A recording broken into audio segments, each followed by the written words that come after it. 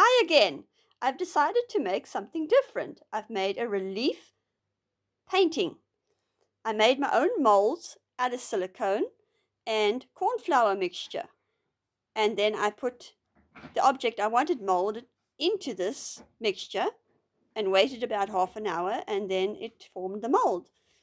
And then I put it in a frame and I put mixture of plaster Paris, tissue paper, glue, and paint on the in the frame and then I put the molds in there and now it's sitting.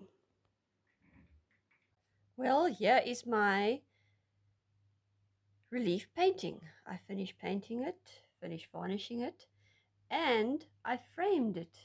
I don't know if you can see, but it's actually like a 3D painting that the the characters actually stand out.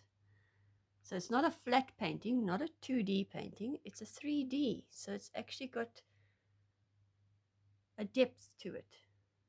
And this is what it looks like. Thanks for watching.